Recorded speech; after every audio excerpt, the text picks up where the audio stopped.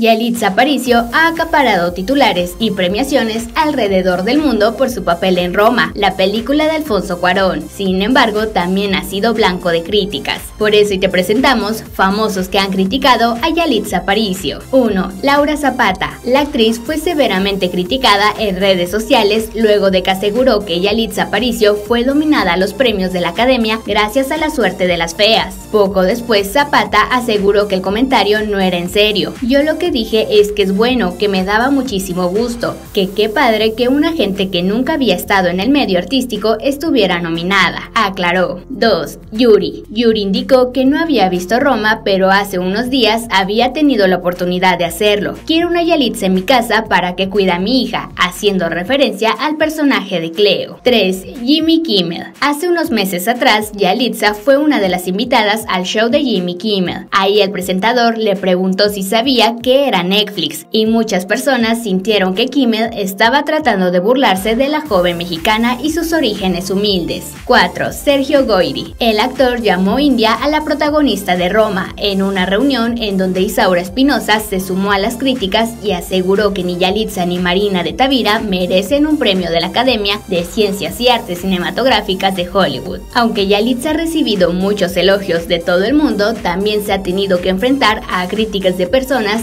e incluso de su mismo país. Pero tú qué opinas de todas estas personas que han criticado a Yalitza Aparicio? Espero que este video te haya gustado y si fue así, no olvides regalarme un me gusta y suscribirte a este canal. Eso me ayudaría muchísimo. Yo soy Daniela y nos vemos en un próximo video.